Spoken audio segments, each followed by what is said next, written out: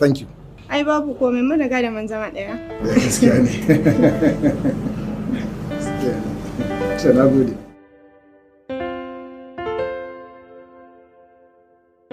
Baby, Mom, where is the baby? Come on, Nadia. Your baby is fine, okay? Tana hannun ubanta. Don't worry. Masha Allah. Allah ya raya Ummu Salma. Allah ya sa ta ceci mai sunanta. Allah ya sa mai jin kan iyaye ce. Amin amin. Ya Nadiya da jikin. To, jiki dai da sauƙi.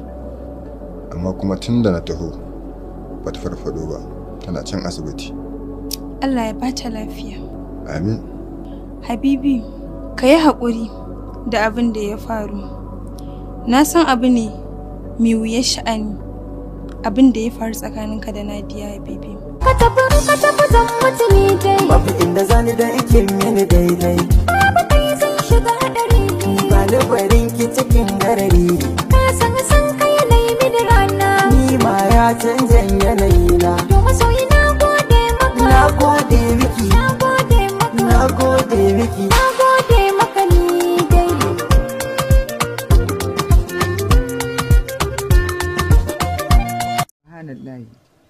Babu komai. Mu ba za mu ƙi ta ba. Allah ya raya mana ita. wannan rashin mutunci ne. Rashin mutunci suka nuna mana muraran dama ba su da shi. Da kuma rashin imani. Ya za a yi kawai daga yarinya ta haihu kawai shi kenan sai ku ɗauko jaririya ku bar ya- ku bar wa yaro. Ku raba wannan yari ita kanta ma ya take. Ya za ta ji irin wannan? Yanzu wannan an kyauta kenan? An kyauta? Rashin imanin ai ya kai rashin imani. Ƙarshe kenan. In ban da Allah wa zai raba ɗa da uwarsa. Ai sai Ubangiji.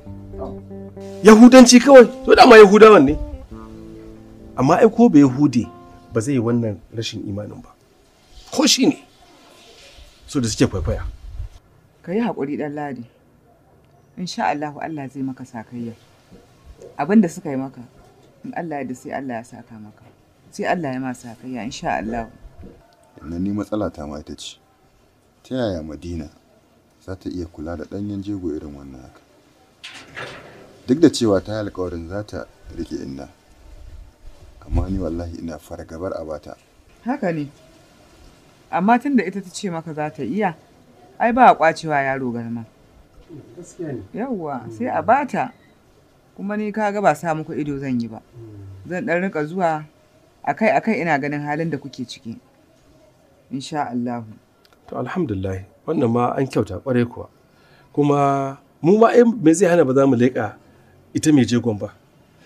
Duk da kasancewa dai ita madina ana ganin yarinya ce kuma ta ɗauki ɗawaine za ta eh, kula da wannan yarinya to allah ya mata albarka allah ya bata kuma ladan abin to amma ya kamata mu ma mu leƙa ita uwar yarinyar ko ba haka ba ne?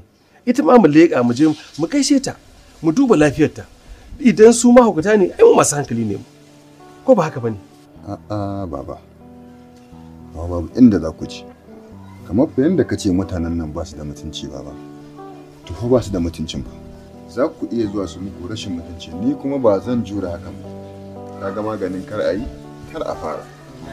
To, bayan kaɗan na shi kenan haka ne to Allah ya gyara wato na sani da ciwo a ce an raba uwa da 'yarta ba tare da ta sanya ido a kanta ba. Abin yana da matuƙar ciwo. To amma let me ask you one thing.